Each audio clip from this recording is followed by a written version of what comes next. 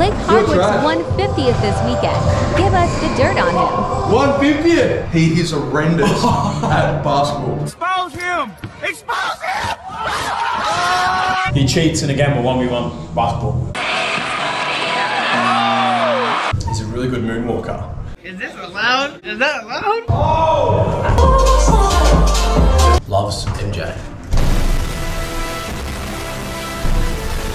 Loves coming second in everything. Always saying that he's going to throw a house warming party, but he bought the house six years ago and still hasn't invited us because he's got too many other mates.